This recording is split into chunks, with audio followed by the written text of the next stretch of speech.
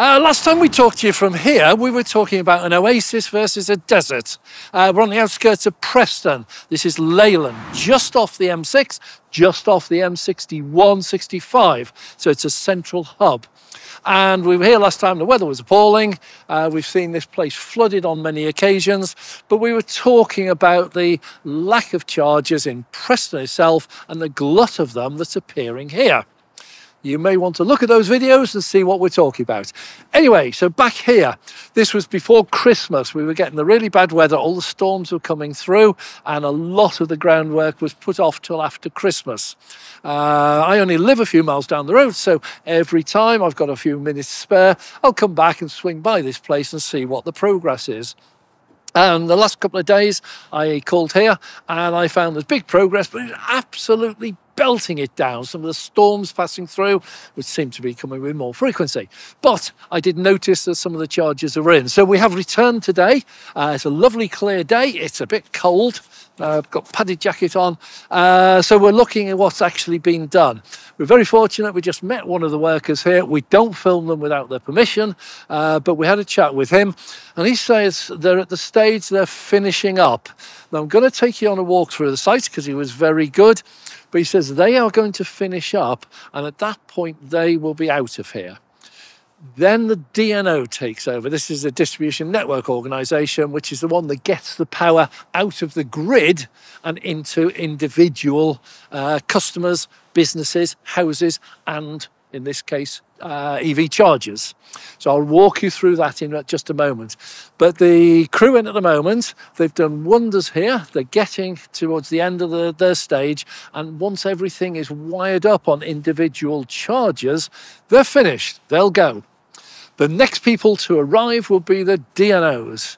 And I'm going to show you in a minute, but there's a substation over there, and that's been brought through already, just a, a an unpowered cable uh, underground, and it's coming up um, in the corner there. We're going to look at that in a minute. But we, uh, no one can do the connections. The DNO does the connections. And this is one of the big bottlenecks that we have at the moment. The DNOs cannot keep up with the pace of the demand the government has put forward a proposal that forget the DNOs, as long as they know what they're doing, the installers here should be able to do that connection. They need to apply for the license uh, to get permission to do it. But at the moment, once they got permission, they have to sit back and wait for the DNO to schedule it into the work schedule. So they're trying to avoid that. And if that happens, then as soon as a network like Tesla or GridServe uh, actually gets licensed to do it, they can get their own electrical engineers, highly qualified, fully qualified.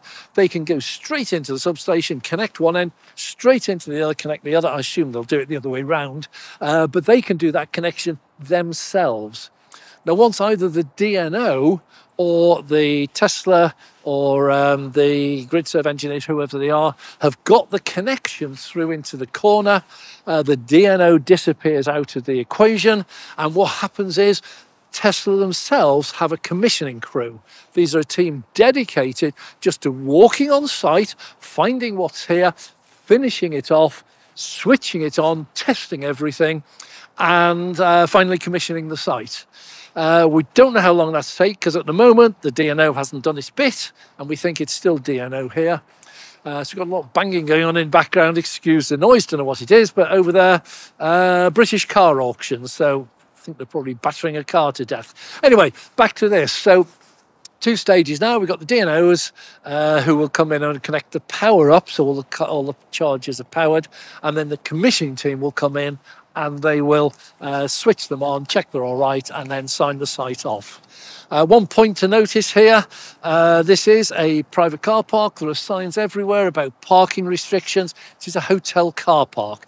Now, ParkingEye operate here, and that means if you don't register your car, you'll get a ticket.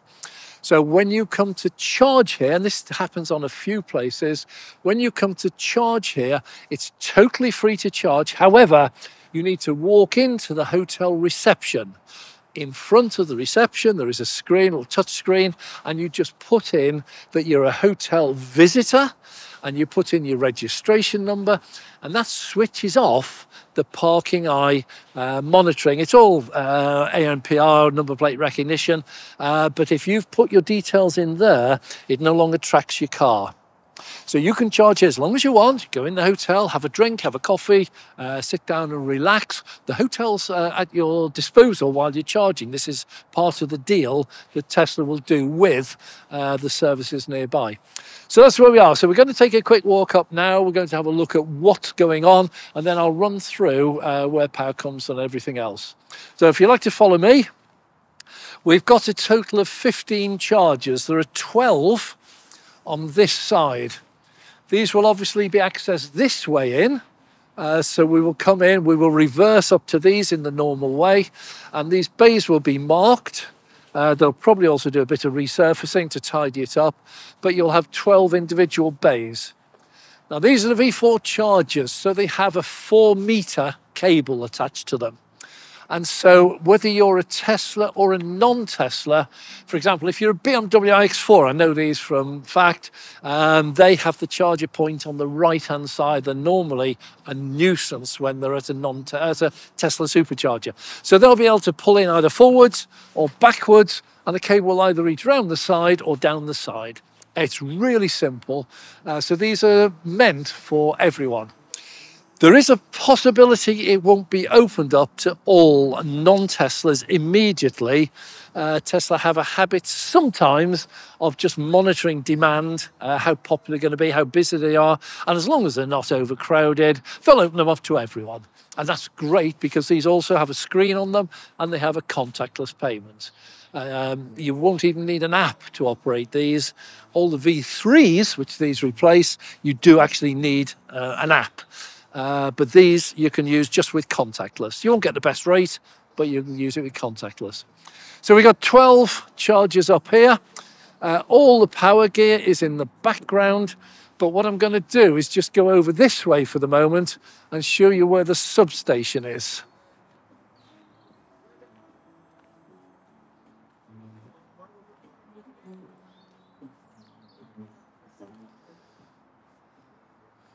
So when we talk about the grid and DNOs, it's important to realize the difference.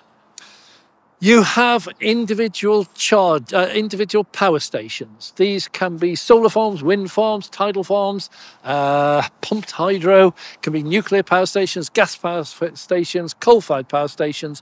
They are all independent most of them. I'll come back to that in a minute.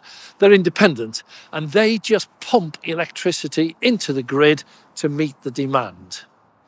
The grid's responsibility is to receive that electricity and distribute it so it's available throughout the whole of the country from Land's End to John O'Groats, whichever way around it is, Land's End to John O'Groats. So the grid's responsibility is taking in the power and then making sure it can be, can be distributed to wherever the demand is. The DNO's job, distribution network organisation, job is to take that electricity out of the grid, uh, which is leave it running. So the DNO's job is to take it out to the grid. Now the grid will be running at 330, 480, 50, 500,000 volts.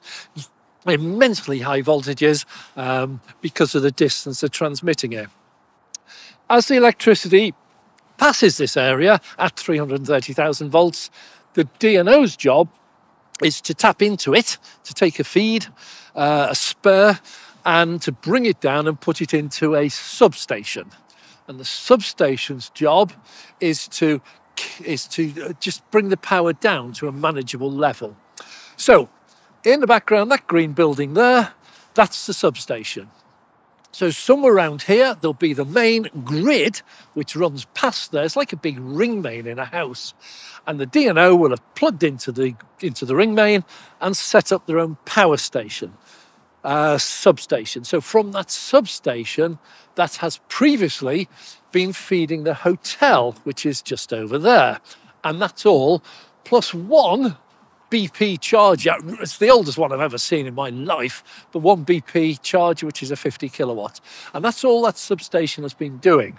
Now, when the DNO tapped into the grid, our ring main, and put the substation there, they would have used a specific size of cable and they would have used specific gear inside that, which was more than sufficient on the day to meet the demands of the hotel. What the DNO, DNO now needs to do is to work out how much extra these charges are going to take. So we've got 15, they're all 250 kilowatts, and they're all individually powered, so they could pull quite a considerable current. So that substation may not, probably will not be capable of running these charges. However, that has the connection into the grid, the ring main. So what will happen is the DNO will either calculate that the cable already coming into that is sufficient to power these, but the switchgear inside the substation is not. So they will do an upgrade of the substation. If they discover that the cable coming in is not sufficient to uh, run the chargers, they will have to lay a new cable, a new spur, if you like. And when they do that, they have a habit of building a separate substation which would be just for the chargers. Now that's up to them which they do. One of the big things that's stopping the development of chargers is DNOs. They are so far behind on installing, it is embarrassing. It's becoming a real issue to the EV charging structure. These lights are ready to go. These could be switched on within a matter of days. The DNO might take a matter of weeks or months before they get round to doing the connection. There's one advantage, and that is once they grant a license and the DNO grants a license, they then have a period of six weeks and they have to get the power connected. So once the license is granted, they're back under regulation and they have to get a move on. But no one has to tell them how quickly they grant that license, and that can be the delay. Anyway, at some point, the DNO will go in there and they will make sure that the cable coming in or the new cable that they're installing and the substation and its contents and a new substation, if they're building one, are connected now into the grid. The cables from there are already underground. So they were dug up. Uh, you can see all the cable runs going across. These were dug in a while ago. So the cables are all waiting. We're going to have a look at those in a minute. Uh, the cables going everywhere. So the cables are there. So once the DNO have done their job and actually connected it at that end, then it's handed back to Tesla and Tesla will just do the work at this end. That's a fairly quick process at that point. So people do correctly say the DNOs are a hold up. There has been government legislation recently which is trying to break that.